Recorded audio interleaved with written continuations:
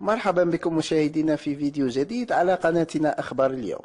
من فضلكم اشتركوا في القناة وفعلوا الجرس ليصلك دائما جديدنا كشفت وزارة التربية في بيان لها أنه سيتم إشهار نتائج البكالوريا دورة 2021 يوم الخميس 22 جويليا عند الساعة الرابعة مساء.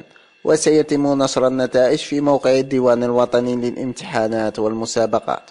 وعبر رسائل نصية مجانا عن طريق الرسائل النصية للمتعاملين الثلاثة في الهاتف النقال